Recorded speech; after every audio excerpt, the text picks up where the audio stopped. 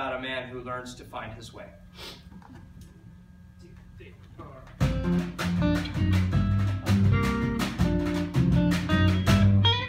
Every year I drive out to Cape Cod for the last part of June. Leave the city by 10 and you're there in the late afternoon. On the way there's a village called Marion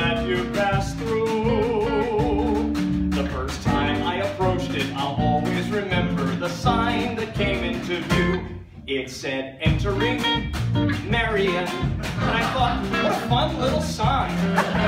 feeling of entering Marion had a kick that was hard to define. A rapturous rush, a physical flush, chills up and down the spine. For the few minutes I was in Marion, all Massachusetts was mine. Got to be an annual thing, the event that would start each vacation off with a bang. Knows why, I decided to try a new route. So I got out my map and I traced what I thought was a butte. After driving all morning, I came to the top of a hill. Where a sign stood before me that promised a new kind of thrill. It said, entering Beverly, which was lovely and not overbuilt.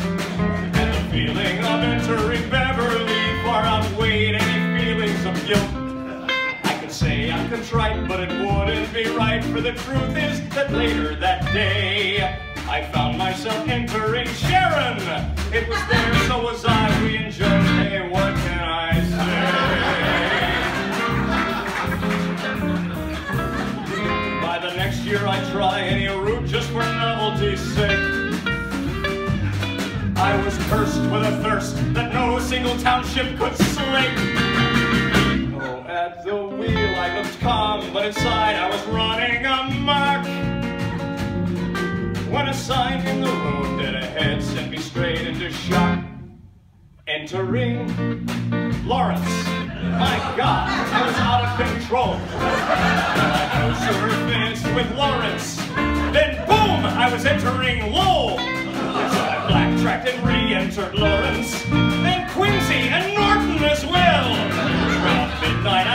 Pulled into and flopped in a Fleabag motel. I slept fitfully in my clothing and awoke in a pool of sweat and self-loathing. Lying there, feeling lower than carry on. A name came clear as a clarion. I jumped in my car, and before very far,